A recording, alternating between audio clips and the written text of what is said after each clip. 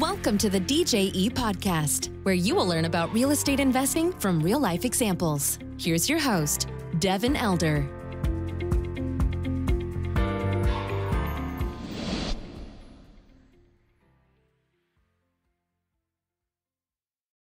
Hello, hello, and welcome to the show. Thank you for joining us today on the DJE podcast. Our guest is George Abreu. They have acquired thousands of units of multifamily. Uh, they own their own construction company. They've done gone from single family to to a huge multifamily operator in Texas and some other states.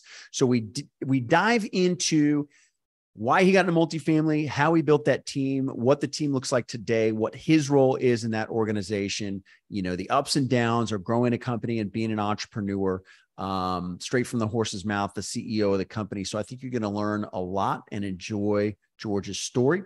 Before we get into that, couple notes from our sponsors here. If you are not seeing the DJE deals that we send out and you would like to, you can register at djetexas.com get access to that deal flow. Secondly, if you're interested in operating apartment communities or forming a partnership to go buy and operate apartment communities as an investment, we created apartmenteducators.com as a complete ecosystem to do that from the coaching, the network, the connections, the team, the whole thing to be able to go out and run and do this business like we do and lots of our uh, students do too. They're out buying, you know, 100, 200, 300 unit deals left and right. So there's a, a content uh, free course you can get started with at apartmenteducators.com. That's it for that message. I uh, hope you enjoy this conversation with Mr. George Abreu. Here we go. George, welcome. Good to see you again. How are you?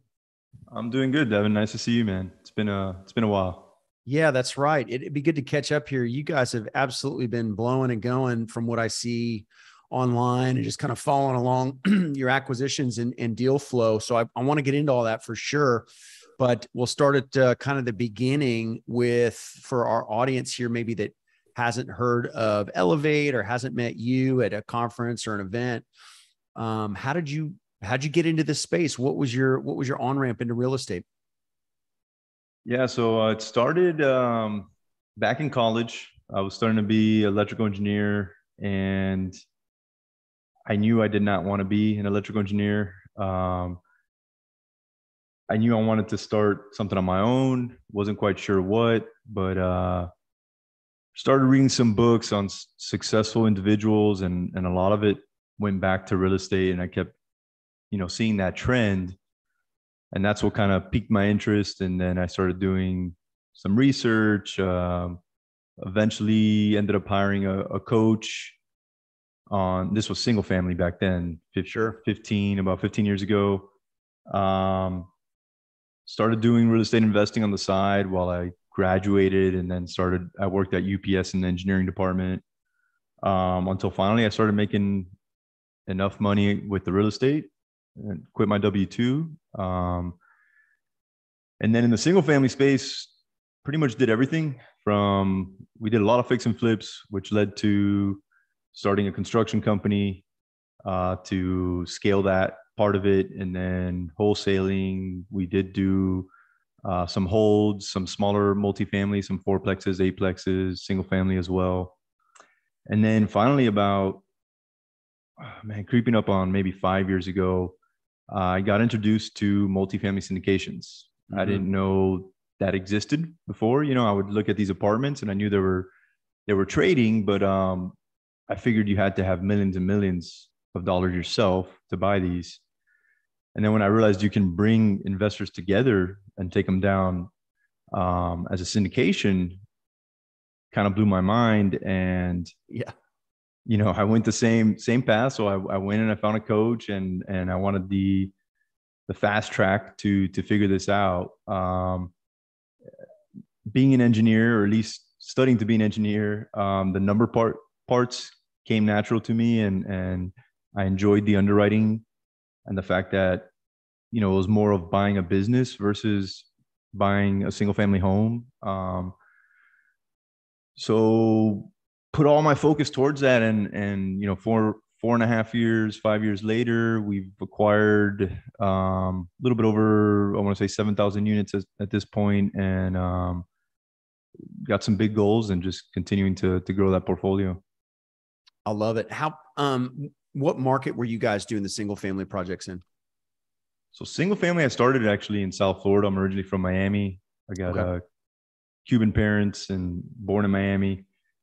And uh, after 2008, when the market crashed, you know, the East Coast and West Coast were hit dramatically. Couldn't sure. couldn't pretty much touch real estate. Um, that's when I decided to move to Dallas, Texas, and continue to do the single family and eventually the multifamily. On the multifamily side, we we are pretty spread out. I mean, uh, we've got a large presence in in Texas, Dallas, Houston, and some other parts, but we also have properties in Oklahoma, Georgia, Florida, um, all the way up to South Dakota. So I mean, we're pretty open on location as long as it's a landlord friendly state and uh, we can see the the growth in population and jobs and those things. Yeah, yeah, for sure. On the, see, it seems like a pretty um, standard tra- trajectory. Get into single family. That's what I did. You kind of go through that, and you run into some scaling limitations. Was there a point where you just got tired of the single family, or was it a matter of kind of just getting your eyes open to the syndication space that made you transition over to the larger stuff? No, that's a great question, man. It, it actually was perfect timing. I, I was getting you know, I kept hitting this brick wall um, in scaling the single family, and just the the amount of transactions that we were doing, it, it, it was wearing down on me. Um, yeah. So you know, that is something else that that led for me to go all in on on multi. For sure. Yeah, it's a grind. I, yeah, I, did yeah, I did way is. too many. Um, and it's like I don't want to own you don't want to own 300 houses. No look at the utility bills. You're like, geez. Uh, and but I talked to a lot of guys that have had success in real estate, and maybe they did short-term rentals or single family, and they, there's like this barrier, this mental block going to, let's say, a ten million dollar building. So what? It's just two different tracks, right? A lot of similarities, but it's just two different worlds, as you well know. What was the catalyst to get you onto that other track? Not having done it before? Was it was it a mentor? Was it you know a partner? What what was that that got you, um, you know, to make that change? Which is a is a big shift, right? It's a big mental shift. It is. It is. I think it's a lot of mindset, right? Just looking yep. at those bigger numbers and then um, raising equity and and having you know all these investors counting on you, right, to yeah. to deliver.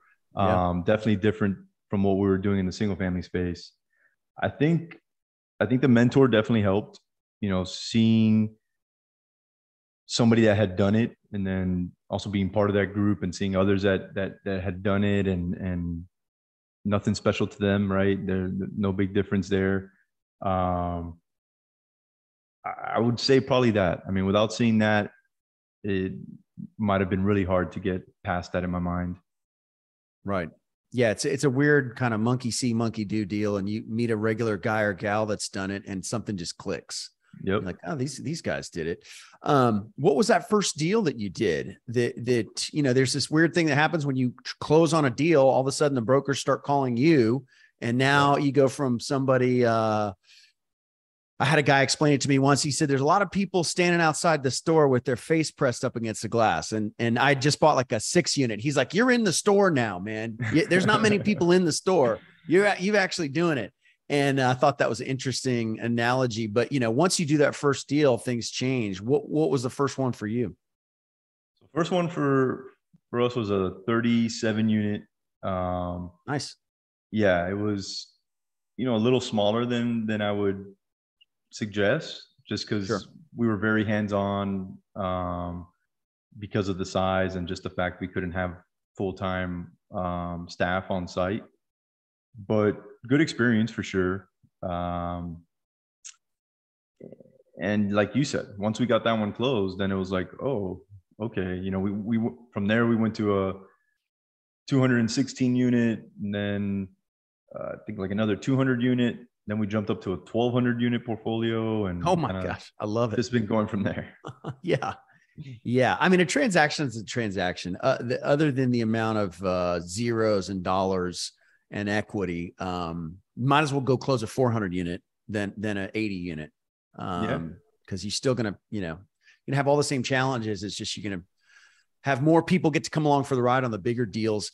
The construction team was that something that has that has tra- made that transition with you? Because multifamily construction there's a there's a lot of moving pieces huge amount of uh you know materials and and the you know you might be renovating 100 units on a property which is different than the the single family stuff. Did those guys make the transition? You've had the kind of construction team the whole time or how did that work? Yeah no it it, it definitely made the transition. Um it's helped us tremendously. Uh before i even so we would do we would do the renovations to the single family homes right our own. And then we did start taking third party work. And on the third party work i started making that that transition to multifamily and commercial work even before the investments just because oh, i saw it was a lot easier to work with that clientele on the third right. party. Right. And um so i already had the crews i already had everything uh so it was pretty simple to make that transition and and it's been like you said with the materials and just um, labor you know trying to find labor it's been very helpful to us. Yeah 100% and the ability to execute. I mean that sometimes the the bank draws and the number of units you need to be renovating every month. I mean that stuff gets pretty intense the first year after takeover on some of these projects. So having it in-house is uh you know a lot of headaches but also a lot of advantage on your execution right for sure, for sure. I mean, uh, you know, I could deal with the headaches as long as we're executing. Yep. Yep, hundred percent. And you're gonna have to deal. You're gonna have to deal with contractors one way or the other, in house right. or third party. So you might as well control the the whole stack. Well, let's kind of shift and talk about the team. I mean, you guys are doing thousands of units, multiple states, big deals. You know, the equity requirements on these deals is probably in the five and ten million dollar plus range per project. Um, what's the what's the Elevate team look like today? So today we we've got a full time underwriter. We've got um, asset manager. Um, we've got investor relations. Myself, we're you know I do a little bit of everything um, and try to uh, paint that picture of the vision and, and make sure we stay in line. And then um, got my other partner, Eric, who does more of a COO kind of role, just overlooking the operations in general. Sure. Um, we've got full time marketing. And then um, probably going to bring on another underwriter and um, move our current to more of an acquisition role um, and then on the construction side, I mean, there, there's we got about 20 payroll employees on on that side Um, because um, we do also still do third party work on there as well. Right, right. Are you keeping those guys uh, mobile? Are they going to different markets, or you guys kind of stay around that North Texas area? How's that work? No, we we definitely do mobilize in, in other areas. Actually, one of my project managers was at the airport right now going to our project in, in South Carolina. Um, a lot of our crews travel with us. So it helps, especially in, in some of the smaller markets. It's mm-hmm. really hard to, to find um, good contractors. So um, yeah, they're, they're mobile for sure. Yeah. Well, that's, that's awesome to be able to have that. What about the property management component here? Um, you know, you've got your construction in house, which is can be really effective. Are you guys using different third party management companies? Did you did you build your own company? How did you approach that piece of the puzzle? Yeah, it's like you're reading my mind. Um, it's all the same struggles we all face, right? I, yeah, I'm sure I've faced them all. Yeah, we've used uh, you know a lot of third party management companies. We uh, right now our portfolio uh, we've got one company that that manages a good portion of it, maybe seventy percent of it, um, and then we've been working on in house, and I think uh, getting ready to roll it out here pretty soon. Yeah, that's great. That's all. I mean, you guys certainly have the scale for it, right? Yeah. Certainly have the scale for it. And it's uh, you're paying it either way, right? You're paying you're paying for it. I mean, there's no there's no getting rid of your payroll line items on your multifamily properties or your property management fee line items. It's just whether it's on your balance sheet and P and L or somebody else's. Yeah. And uh, what I like about having it on our balance sheet P and L is I get the truth. Right? People can exactly. tell me the, the bad news, and I've had the third party experiences like we all have had where it's all sunshine all the time, and you're like, these deals they don't run that smooth. That uh, there must be something that I'm not uh, in the loop on, right? It's funny, man. I mean, I think I honestly think regional managers are there to hide the truth from you almost, and that's with right. every management company we've dealt with, and it's it really is. It um, really so is. we wanted to get really good at asset management first before sure. we brought the in-house, and we feel like we're we're there, and we've done everything we can to push the third party property manager to where we just can't do any more other than bring it in house. So yeah. it's the next step for us. Yeah. Well, look, you got, I mean, the equity piece is covered, the construction piece is covered. You've got the asset base uh, to support that. You know, if you look at your, you know, globally across your company, what you're paying out for third party management fees, that's probably pretty healthy revenue. You could just turn turn in house and support some some corporate staff. So yeah, that's uh, that's good. I had a, a regional manager tell me once I, I showed up on site. He's like, "Man, what are you doing here? You you ought to be on the drink beach drinking a pina colada. We got this." And I was like, ah, "I think that's overselling it a little bit, buddy." Absolutely, man. Some of the stuff, uh, you know, even now we some of the regionals just want to talk to us on on the calls. And we're like no sorry. We we like to speak to the full staff like right. Yeah so you get the it straight from the horse's mouth. So yep. it's a hard business. We all know that but you're paying for it either way. The, the money's going out and um, if you can do it you've got the scale which you guys certainly do then yeah that's right. Um, bring it in house well that's cool man. You guys will be you guys would be a juggernaut at that point then with the construction you, you, know the private equity component the property management full stack and that's that's powerful. What are you guys looking to do? I mean right now we're as we're speaking kind of late 2022 debt markets are a circus. We're all trying to figure out how to get deals to pencil. But um you know what what are you guys going after these days and trying to add to the portfolio? You know we've had a lot of success with um a class deals yeah. And getting them straight from the developer for the most part. Like during um, their lease up? During their lease up. Yeah. Yep. Uh, the earlier, the better, honestly. And uh, kind of just taking those rents to, to the next level and uh, adding some other income and, and things that maybe the developer didn't see or just didn't care to implement because they just want to build it, you know, get it occupied or or not and sell it. Yeah, if they can sell earlier and hit their numbers, take yeah. take the exit, right? Right. And then I just think, you know, your C class properties have increased so much in price. Right. And that margin between the C class and the A class has shrunk so much. It just makes sense, man. So so we've been targeting a lot of that. Not that we don't do, we'll still go after some some C class stuff if if uh, we feel like we're getting a really low basis and we can add good amount of value. But um, yeah, that's kind of the space we've been playing in. Yeah, I mean, look, uh, how how has the A stuff? Yeah, if you want to buy the biggest, cleanest thing you can, a lot of times we've you know only been able to kind of make it to maybe a B plus asset and still feel like the numbers could pencil.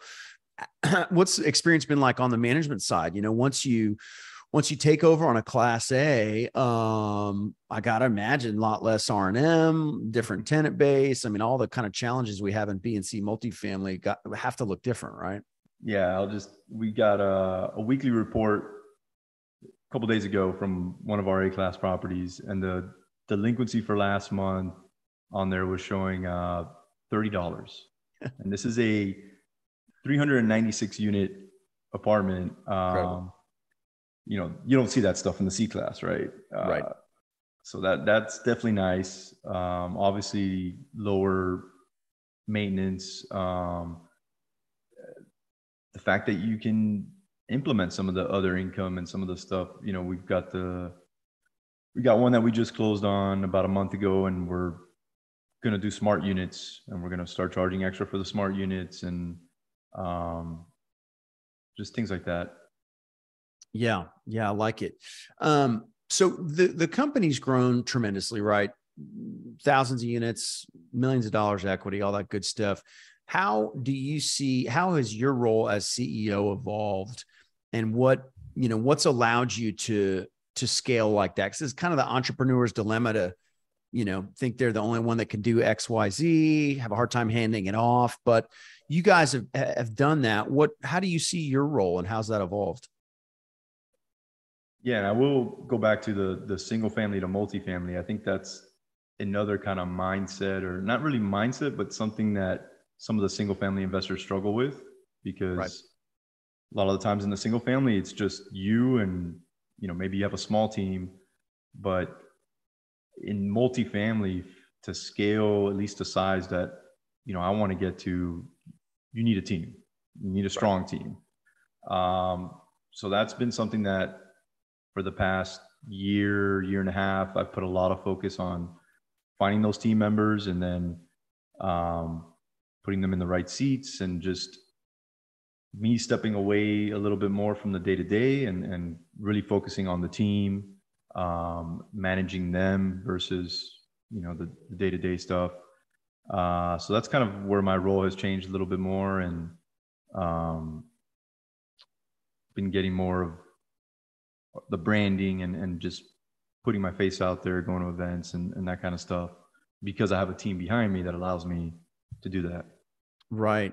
Do you think that's uh do you think that's kind of your specialty? I mean, we all have strengths and weaknesses, and I think the the people that identify what they're good at and enjoy and double down on those do well. You know, w- what would you say is your strength or superpower as you know in this big organization now that you run? Know, I would say my strength is is coming up with the the vision, the goals, the plan, and then you know what we need to get there and kind of putting that team together. I would not I would say that public speaking and networking and that kind of stuff is probably not my specialty, but it's something that that I've just kind of taken head on and um, continue to get better at it. But it, it's not you would have asked me a few years ago, um, come speak at this event, I would have probably told you no way. right, right. Yeah, that's incredible, man. I mean, uh, kudos. You're all over the place, right? You're over social media, events, speaking. Um, for someone that is not like naturally pursuing that stuff, that's that's a huge win, and it's uh, it's growing the business, right? I think the proof's in the pudding, the Correct. unit count, the team, and, and and all that stuff. So that's that's really powerful. Well, I, I want to finish up with a couple of questions. One, I'm sure you have this conversation, and now your investor relations team has this conversation around somebody that's looking at a passive investment but hasn't done it. You know, what do you say to that person? And then somebody that's looking to go get into this business as a syndicator or operator but hasn't done it. What do you say to each of those uh, each of those people? Yeah, somebody that's looking to to invest passively in multifamily, um, you know, I would ask them first i like to ask them what their goals are like what why are you looking to invest these funds and and are you looking for cash flow? Are you looking to um, grow that money quickly? Uh, what is your end goal?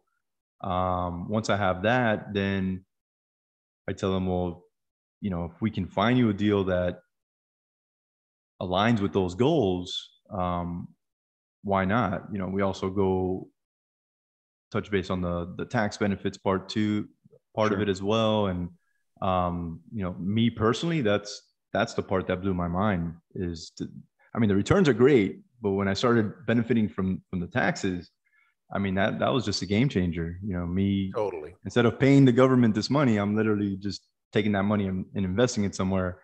Yeah. Um, so that's what that's what I would uh, tell that passive investor. And then as far as I think the second part to that was somebody looking to become an operator. Is that right. correct? Yep. Um, you know, I would say don't quit your day job right off the bat. Sure. um, it, it takes a little bit of time to gain that traction and then to also start getting a good amount of income coming in. Um, so try doing it on the side first, and then you know, kind of working it slowly. And there's there's different ways to do that. And then it's a lot of work. I know you know, but um, it, it's not easy, man. It's not easy. There's there's a lot to it when you're operating these apartments, and and to do it to do it right and right. Yeah, it's a lot of work. Yeah, hundred percent. I mean, there's a there's a spot for everybody to participate. You want to go full passive and not worry about it. That's an option. You want to partner and do some of it, but not all of it. That's an option. And then you want to you want to take it all on. That's an option. Just realize what you're taking on. Right. Yep. The buck Yep. stops with you, and that's a uh, you know you're Atlas at that point, holding up the world, and there's nobody to there's nobody to look to to to help you out. It's on it's on you and your team. So uh, big responsibility but hopefully the the rewards are are in line with that work workload as well. So that's why we that's why we do it. Well this has been a really good look at your business and your trajectory. Um, i've enjoyed watching what you guys have, have done and what you guys will do. If somebody listening wants to connect what's a good avenue for that? Um, our website has a ton of content and, and free information. If they go to elevatecig.com. Um, if they want to shoot me an email as well, which is my first name, George, or spelled Jorge, J O R G E, at elevatecig.com and tell me that they heard me on this podcast, I can also send them like our arsenal of free content. I love it. Yeah, you guys have a lot of great content. Well, thanks for coming on today. Uh, George, I wish you guys a, a good rest of the year and success ahead growing out the property management company and look forward to uh, catching up with you soon. But thanks for jumping on. Thank you, Devin. It's always fun, man. All right. Take care. Thank you for listening to the DJE podcast. For more information, please go to djetexas.com.